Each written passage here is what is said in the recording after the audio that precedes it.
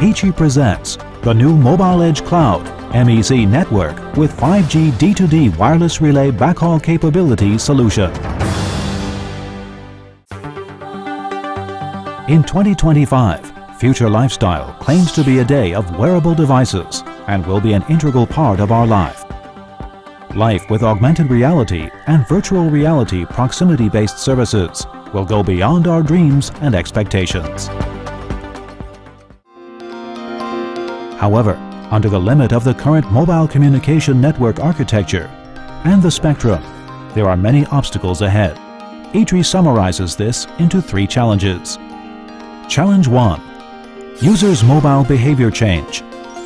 Users need more capability of high-order image processing so that the demand for high computation power of wearable devices increases. Therefore, Mobile Edge Network Cloud that offloads from centralized mobile cloud is needed in the future. Challenge 2.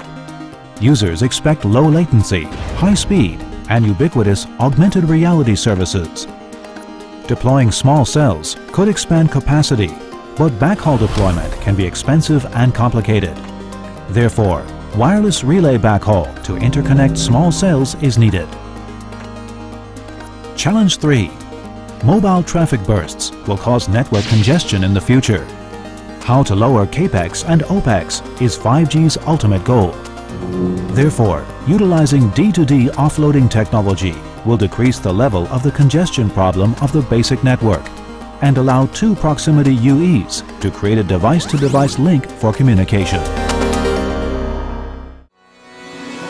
ICL of ITRI is devoted to developing 5G D2D offloading technology to merge heterogeneous network, expand network coverage, offload traffic from cells, and introduce Mobile Edge Cloud Network and 5G D2D wireless relay backhaul. We assist telecom operators to solve the coming problem of power consumption of the wearable devices, high cost of deploying cells, and network congestion through ITRI designed Wi-Fi AP with 5G D2D wireless relay backhaul solution. Mobile operators can build flexible small cell routes for complex urban landscapes using line-of-sight and non-line-of-sight radio links positioned at street lamps, rooftops, indoor space and basements, places that are difficult for deployments. Through the ITRI designed context-aware D2D offload controller, Edge Cloud servers, Wi-Fi direct wireless relay backhaul, and ITRI glass systems.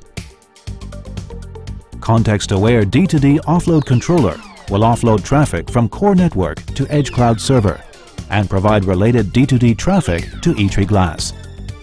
This offloading technique can solve the problems of high latency of AR processing, high cost of deploying small cells, and network congestion. Users can now enjoy AR services with high image quality and low latency, any place, anytime.